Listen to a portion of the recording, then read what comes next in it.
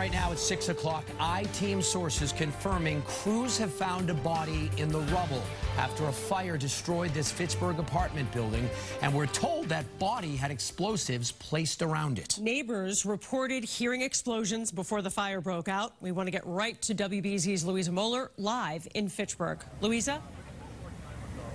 Well, Paula David, sources tell our I-Team Cheryl Fiandaca that the cause of the blaze that destroyed this apartment building behind me was multiple explosions and that a body, as you said, was found in the rubble with multiple explosive devices around it.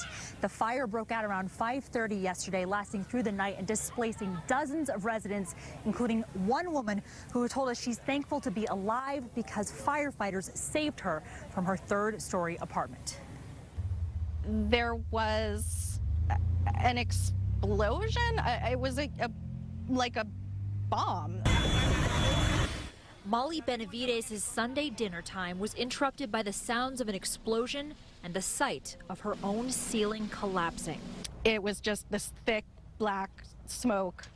Um, and instantly I, I just, I knew that, that there, I had to get out of there. Adding to her shock, the door to her third floor apartment was stuck shut as smoke started building in the Fitchburg apartment building. She went to the window ledge. They were telling me not to jump. They were telling me that it, everything was going to be okay, that um, that they're there, and um, just to stay where I was, and and it was going to, you know, everything was going to be okay. How did it sound? It sounds like a bomb. Neighbor Carmen Santiago says that's what she heard before she saw the windows explode. There's a lady and a guy over there, and then I saw all the glass just go on top of her. And smoke stream out of the third floor of the converted school on Beekman Street.